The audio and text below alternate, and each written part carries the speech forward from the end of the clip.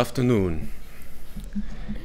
Your Eminence, Your Graces, my beloved fathers and brothers and sisters, it's been a joy and a pleasure and a real privilege for me to get to know a little bit about the Eastern American diocese. I've been to the East Coast of the United States a few times, but this is my first occasion to speak to uh, your diocese, Vladika, to your people, to meet all of you. Uh, and it's been a wonderful joy and a learning experience. I'm learning a lot. Uh, I anticipated that the people that I would meet, the priests, the clergy, the laity of the Eastern American Diocese, would be joyful and loving and kind. And I have been proven correct. There is a great spirit of fraternity and hospitality and love that's very evident. I have also learned how eager you are to welcome the stranger into your midst and to make him feel at home, for which I am very grateful. And I have learned also that you have a very unique and special relationship with time. Yesterday, for example, there was an item on the program that was allotted 15 minutes and it filled nearly two hours. So I have been allotted 45 minutes, which by math I believe gives me six hours. So please tuck in, it's going to be a long ride. No, in seriousness, I've been given the slot in any conference that every speaker dreads because we've all just eaten and we wish nothing more than to just have a little nap. So please understand that I will be very forgiving to anyone who feels that they would rather sleep than listen. It is my extreme pleasure to speak on this day, particularly the feast day of our beloved saint and pastor and hierarch John of Shanghai and San Francisco, and as I always like to point out, London. St. John was also a minister to the flock in Britain. I have the immense privilege in my life to serve in the house where St. John lived and raised his children. Uh, it is a relic, the house itself. Is a place where you walk through the door and immediately, tangibly feel the grace of God present through the life and the prayers of his saint. I said to someone around our table, I always laugh when people come to visit on pilgrimage, and we get dozens of them a week, uh, and they come in and say, Please show us something of St. John's. And I say, Everything here is St. John's the walls, the icons, the vestments.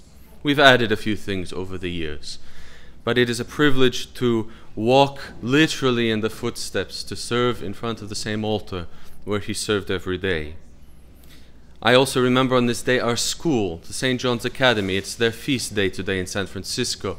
I ask you all, please, to remember in your prayers the teachers and the new principal. It was announced that I'm the principal. I have given up that role and um, found a new far better principal for the school who is flourishing in his new role. Please remember them in your prayers. They're wonderful children, our only such school in the whole of the Russian church abroad.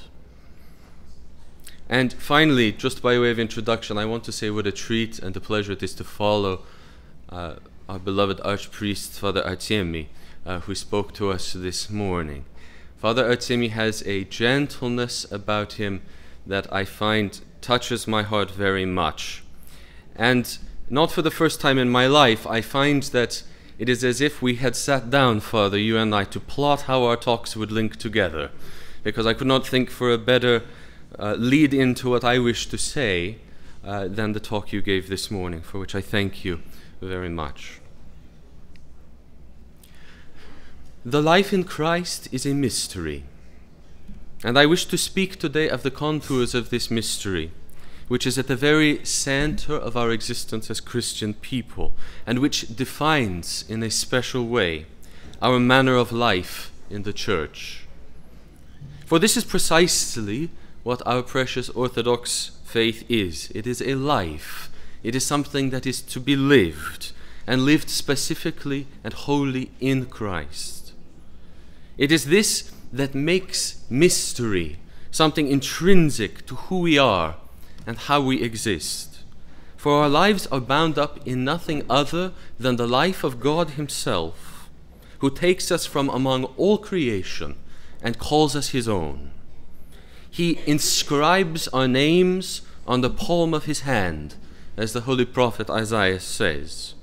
And then, more than this, he takes not just our names, but our whole lives, frail and weak and sinful though they are, and draws them to himself, giving us nothing less than the highest honor in all of creation, that which nothing else shares, not the angels, not anything in the created order communion in his own life, a drawing of our created hearts into his own uncreated glory, until we are able to say, with the holy apostle St. Paul, It is no longer I who live, but Christ who lives in me. It is in the heart that I would like to begin. For the Holy Fathers teach us that the heart is the chief organ of our spiritual life, the center of our being. They even call it a microcosm of all creation. It is itself a mystery, this heart of ours, something deep and wonderful to behold, in which all the incomparable realities of this life are manifest. I would like to read to you a quotation by St. Macarius the Great that over the years has become possibly one of my most beloved passages in the whole corpus of the Holy Fathers. Speaking of the heart, St. Macarius says this The heart, my brethren, is only a small vessel, and yet there are dragons there, and lions. There are poisonous beasts, every treasure of evil there are rough and uneven roads. There are precipices. But there too are God and the angels. Life is there, and the kingdom. There too is light, and there are the apostles, and heavenly cities, and treasuries of grace. All things lie within that little space. There is something to the saint's words that is as profound as this passage is beautiful. The heart contains with it all the glories of creation, the kingdom, light, great treasuries of grace, the essence of the apostolic life, God Himself. And yet, at the same time, this same heart contains profound darkness dragons and lions, as St. Macarius calls them, wild beasts, uneven roads, deep treasure houses of evil. Can any of us, when we look into this mystery of the heart that God has given to us, not cry out, What a mystery is man! What mystery lies in me? This very mystery is no pun really intended, at the heart of the mystery of the Church, the Holy Sacrament, about which I would like to speak this afternoon the mystery of Holy Confession. Amongst the Church's sacraments, it is at least the second most frequent, if not in many contexts, by far the most frequent sacrament in which the faithful will partake. It is in a real and unique way the sacrament of the heart, that which has the heart as the summation of our whole spiritual being, as its direct aim and focus, its precious charge. It is a heavenly grace. Confession is a gateway to salvation, a treasury of divine beauty and joy. Yet it is also, perhaps, the mystery of the Church, the least treasured by those who partake of it. Holy Communion, by contrast, is approached most often, thanks be to God, as a profound privilege, an unparalleled joy, something for which we eagerly await and look forward. But confession is very often seen as an obligation, a duty to be fulfilled, a responsibility. And this, in my experience, is not only the case with the faithful approaching to make their confession. I oftentimes hear very similar statements coming from clergy, from confessors.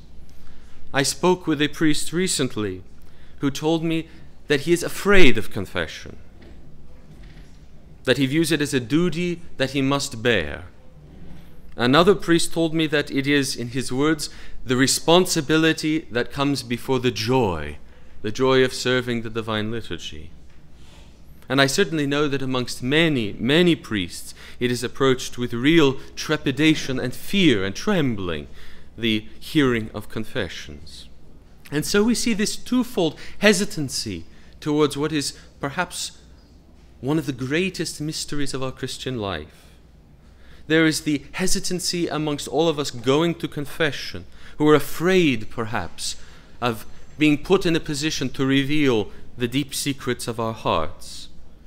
And behind this, we are perhaps even more afraid of simply having to confront what is really present there in our hearts.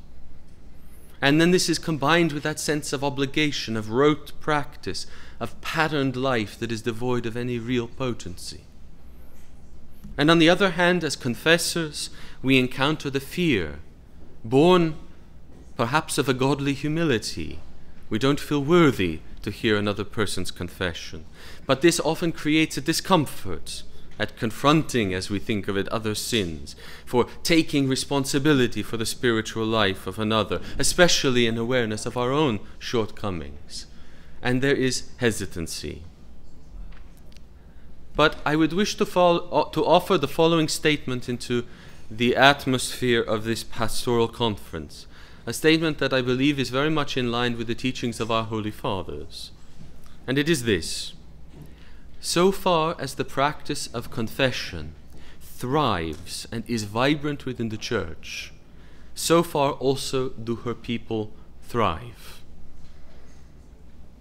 And so far as confession is a living reality, true, a vibrant experience of the mystery of God's grace, their lives are transfigured and changed. But where it is weak and rote and feeble, their lives are locked in a darkness that is terrible indeed. And it is a darkness that is profoundly difficult to escape as priests called by God to be his to assist his ministers, our bishops, in the shepherding of his flock, we must foster in the hearts of the faithful a burning love for the sacramental life in Christ that the church offers us. We must help them to see that a life in true freedom in Christ is possible, and it must begin with the child of God rushing with full zeal eagerness and seriousness to confession, often and with full devotion and joy. It is our obligation to show them how to open their hearts wholly and completely to God, holding nothing back, so that no corner of their life remains divided from Him, rebellious towards Him. It is our responsibility to help them to run eagerly, as if it were as important as their own breath, to that mystery by which His power can conquer their sin and draw them out of darkness towards His glory. So, in the remaining five hours and 43 minutes that I have with you this afternoon, I would like to offer a few practical reflections on how we can accomplish this in our church ministry in terms that I hope might provide spiritual encouragement to all of us who struggle to fulfill our obedience to the ministry of God's holy church. And I think that if confession is to truly be made vibrant and alive, it has to begin with the vision of creation. If the faithful are to be brought into the fullness of the sacrament, then the confessor's work must not begin at the analoi, at the icon, at the gospel and the cross, when confession itself starts.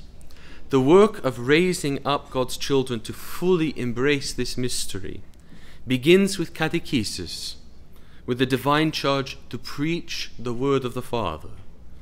It is in hearing the sacred scriptures rightly delivered in the context of the divine services, expounded in obedience to the teachings of the Holy Fathers, that the faithful hear the story of their salvation, the story of which they are a part, a story which is about their spiritual life. We must teach our people in sincerity and honesty and love what these scriptures proclaim that they are creatures of a God who has fashioned them with his own hands. Not merely addressing creation as a accounting of past history, but as the very foundation of their spiritual life. The Lord loves them. He has taken them up from the dust. He has fashioned them in their mother's wombs, that He gives them His own breath, and above all, that He has created them for sanctity and for holiness. The life that God has given to them is His own life. He has created them for glory. We live in a world that seeks to strip them at every turn of their hope, to rob them of joy, to make fear and despair the basic ingredients of human existence. And in the context of this, we must tell them a greater truth. We must give them the experience of that truth through the fullness of the church's life, unadulterated, unchanged, unbending, undiminished so that they may know the preciousness of the life that God has created in them, and hear the words that He says to each of us Fear not, my little flock, it is your Father's good will to give you the kingdom. We must tell them this story. It must burn in their heart as their own spiritual autobiography, alive and vibrant and giving shape to their life. And then, having spoken to them of love, having shown them the love of Christ, we must help them to see that this creature that God has fashioned for holiness, for sanctity, has been profoundly wounded, disfigured, crippled. We must help them to see that sin, our own rebellion, has made this disfiguration so overwhelming, so universal, that it has come to appear to be normal, as if it were our nature itself. And this is precisely the point at which the responsibility of the priest is at its highest. For the priest must help his flock to see that this crippling subhuman existence is not normal. It is not our nature. It is never who we are. Why must this be stressed so strongly in our pastoral work? It is because it is at the very root, the bedrock of the whole gospel itself. It is only when we have rightly heard this message that the proclamation of the church can be received for what it really is. You can be healed. It is only then that we can hear the words of the Saviour If thou wouldst be made perfect, take up thy cross and respond not merely sentimentally or in metaphor, but in the manner of St. Anthony the Great of Egypt, knowing in the depth of his being, as he heard these words one afternoon from St. Matthew's Gospel, that Christ was telling him it is possible to be perfect, to be made holy, and so resolving to change his life by God's grace. The world looks at our lives the world looks at man, and what does it see? It looks at man and sees envy, strife, hatred, bitterness, brokenness. And the world, beholding all of this, says, Look, he is an ignoble creature, barely better than an animal, and so fosters despair. But God looks at man, his own creation, and he sees strife and envy and bitterness and hatred and brokenness. And beholding all of these things, he says, Look, there is great darkness, yet out of darkness cometh light. The Lord sees the weak creature and beholds one whom he would save. The church sees the weak human creature and sees only a cause for profound hope for whereas in terms of physical sicknesses, not every ailment can be healed in this life, and God gives to some of us suffering that is useful and beneficial for our salvation. At the realm of our spiritual life, every soul can be healed. The power of God is greater than any and every sin, any and every force of evil. The mercy and the love of God can heal the most broken of creatures. The great hope of our life in Christ, the great hope of the church, is precisely this the broken creature can be mended, the sick patient can be healed. The heart darkened by sin, so lost and alone in this life, can be renewed, restored, and made whole. But to accomplish this, we must enter directly into the mystery of confession itself, the third pillar of the pastoral work of the priest, as Father Artemi articulated it this morning, is care for souls. And confession is the chief means by which this care for souls is exercised. The priest who would draw his flock into lives of truly salvific confession is a priest who understands then that seeing our lives from the vantage point of God through the church is a necessary starting point. Too many people come to confession not having been shown this reality of life, and they come hardened by despair that at the very best, all they will be able to do is get a few things off their chest, receive a little bit of fraternal support and some guidance. But the church says no, more is possible.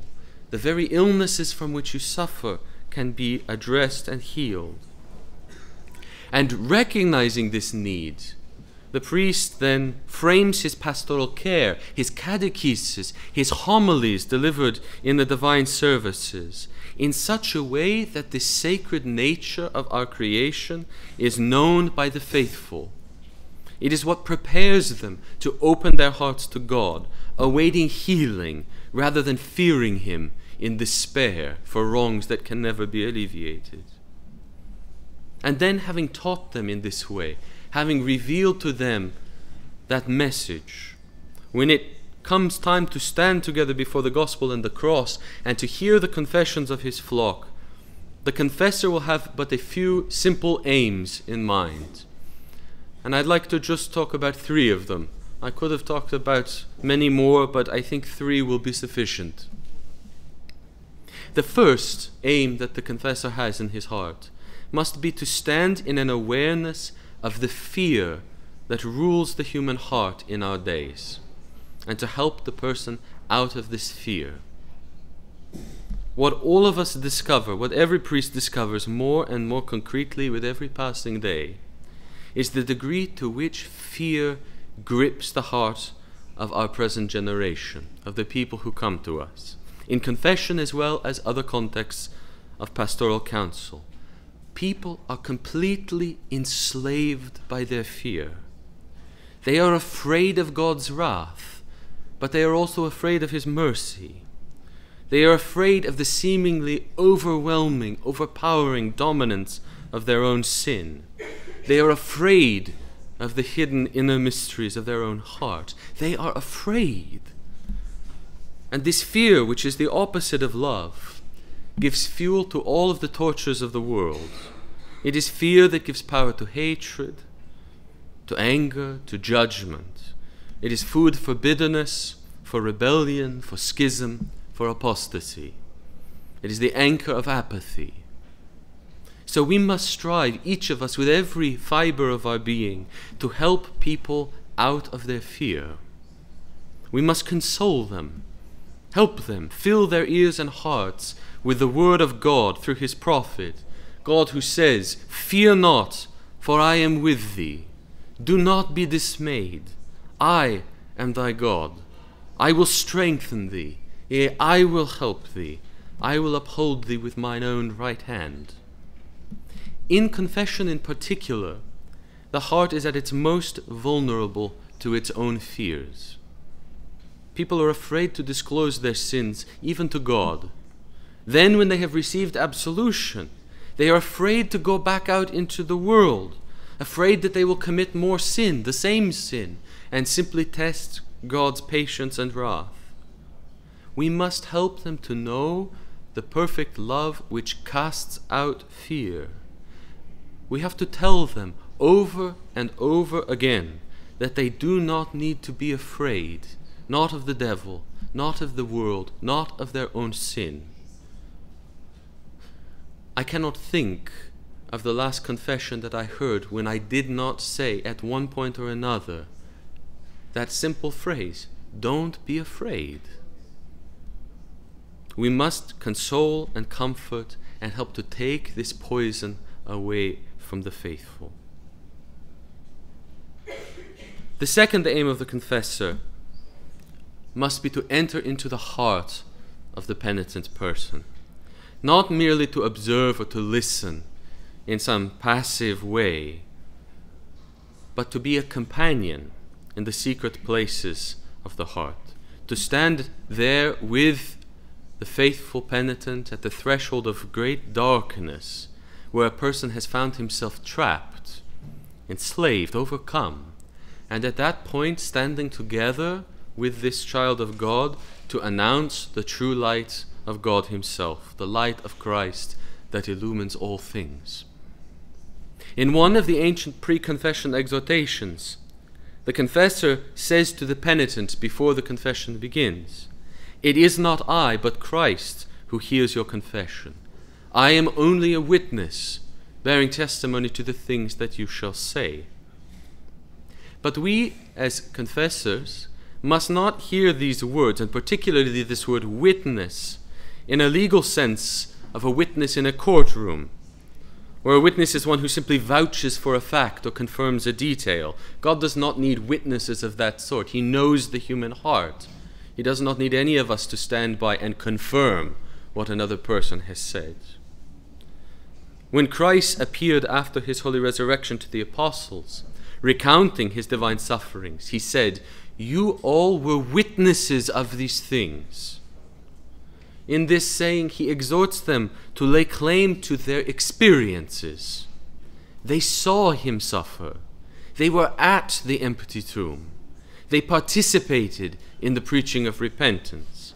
As witnesses, they were present at the saving passion and resurrection of the Lord. And so the confessor, bearing witness to the confession of his precious spiritual child, must offer himself into the heart of the penitent. We cannot merely listen as some objective, outside, rationalizing observer. The priest must allow his heart to be touched by the suffering of the other person. He must feel compassion for the great crosses borne in every human heart, of which he can only see the tiniest glimpse. He must allow their sorrows to be known, to be felt, in the very depths of his own heart. And in this we imitate the Saviour, who did not stand off in the distance and preach passively into the air, but who walked with his disciples, who endured scourging and suffering and ridicule, who participated in their life, and by standing with them drew them out of darkness. So the confessor must be a companion to the faithful person in that journey through their own spiritual life.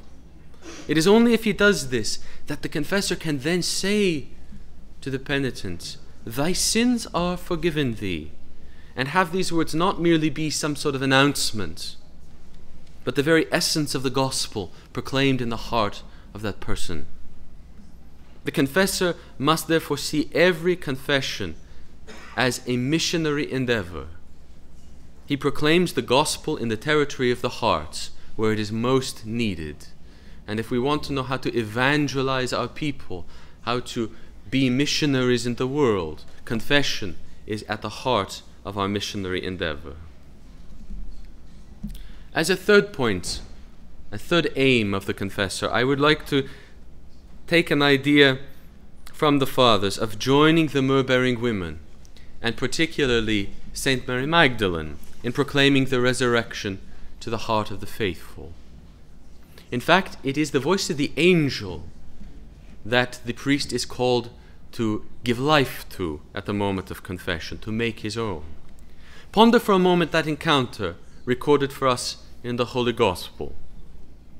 St. Mary comes to the tomb in all of her sorrow, all of her mourning, her complete brokenness of heart. She is lost. She sees only darkness, defeat, evil. And in the midst of this, the angel proclaims to the women, Why are you seeking the living among the dead? He is not here, he is risen. St. Mary Magdalene's sorrow is so deep that she cannot even recognize her Lord when she looks at him face to face.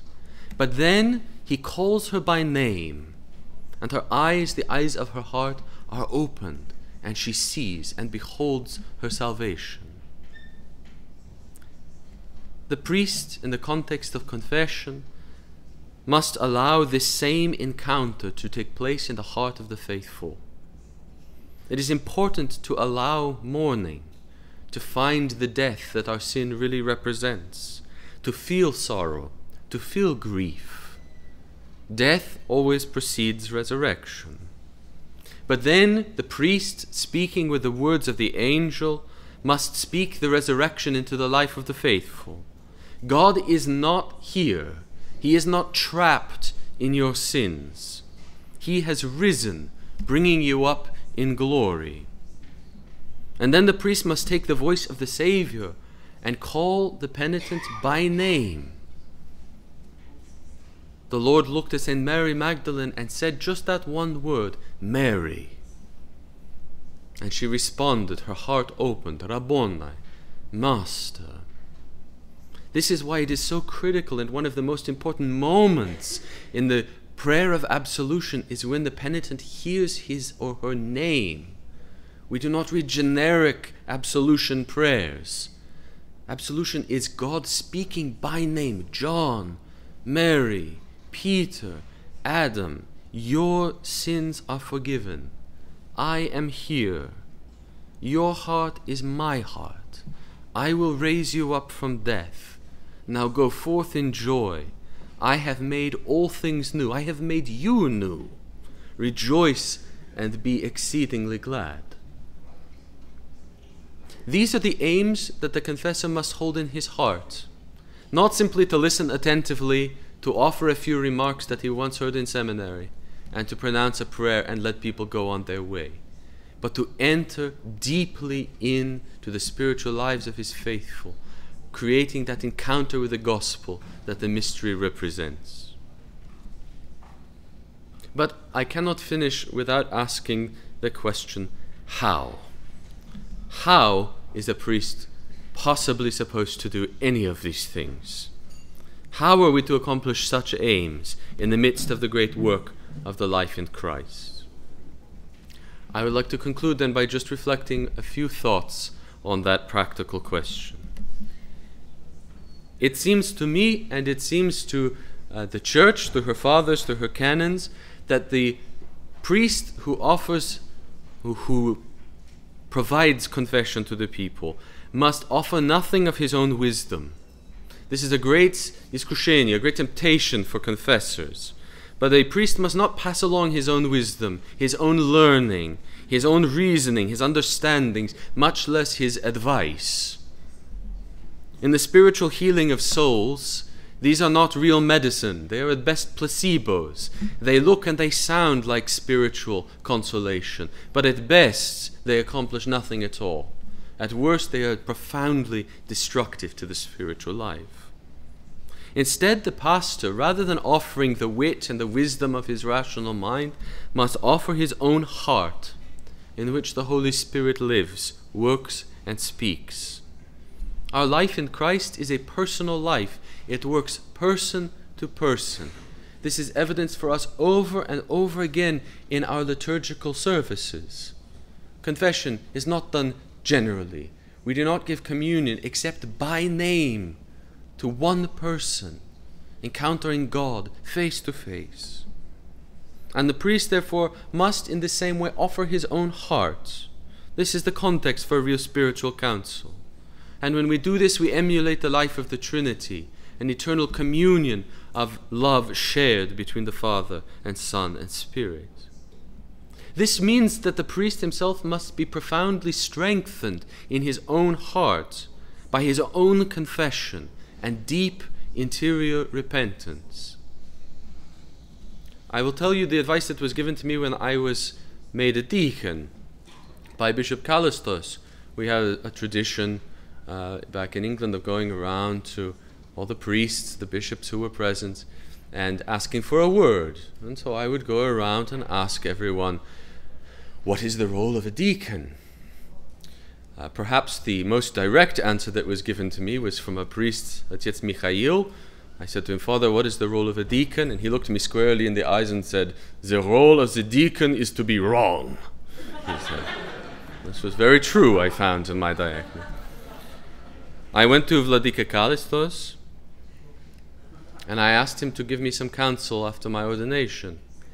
And he said, I will tell you my own experience that every day of my life since I was first ordained has been a day of deeper suffering than I ever could have imagined, but with it a more profound joy than I could ever have known otherwise. I wish you more of the latter and less of the former. But of course, the latter only comes from the former. Suffering, which leads to repentance, is what creates our joy. And all of us as priests must embrace a life of profound, continual repentance. It is the great sorrow of church life that it is priests who generally least of all have access to confession. It's why events such as these conferences are so important that every priest has the possibility of confessing. Many priests are blessed in being in large cathedrals with multiple clergy, but many priests are alone. It is impossible to say confession regularly. Let us take advantage of that opportunity when it comes. Our hearts must be fed. But similarly, the priest must be deeply, unbendingly shaped by the canonical consciousness of the Church. I very much do not mean that to suggest that the priest must be an expert in so called canon law, a phrase that I quite despise, as if the canons were laws to be exercised in a legal framework. I'm not suggesting either that the priest need to be overly familiar even with the texts of the canons. This is the responsibility given not to the priest but to our hierarchs. Rather, what I mean to suggest is that the priest must be wholly shaped by that to which the canons give life, the living heritage of the Church in its fullness, the unchanging truth of the gospel preserved in the world until he comes again. This and only this must be what forms the confessor's heart if he is to be of any spiritual value whatsoever to his children. A priest's obedience to the life of the church is the source of his spiritual strength. It is the source of his potential as a surgeon of the soul.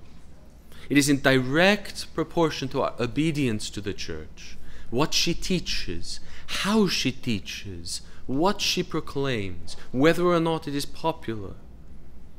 It is in direct proportion to our obedience that we have the ability to give not our own word to those who are suffering, but the word of God which the church gives to us.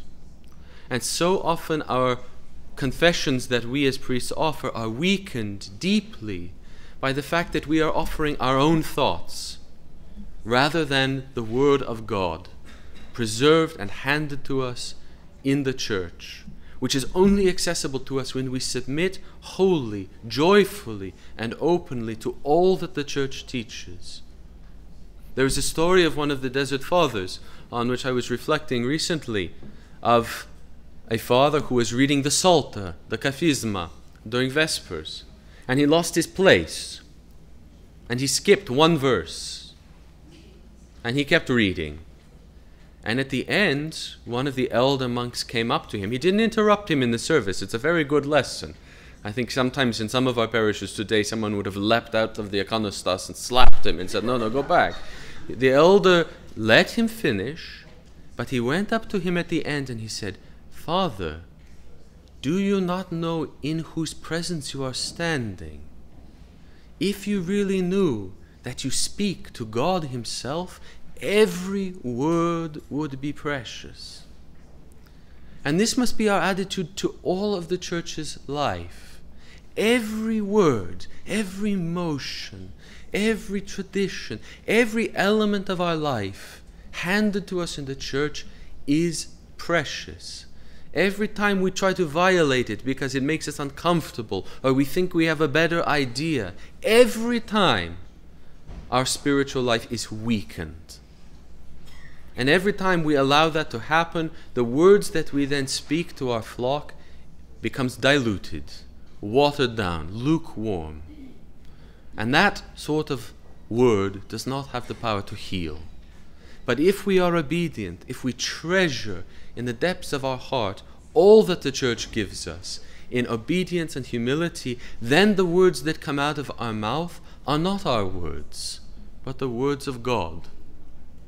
Saint Seraphim of Sarov was once asked, What is it like, Father, to receive divine words and to speak them? Tell us what it's like. What's the experience of that? And he said, I simply open my mouth and talk.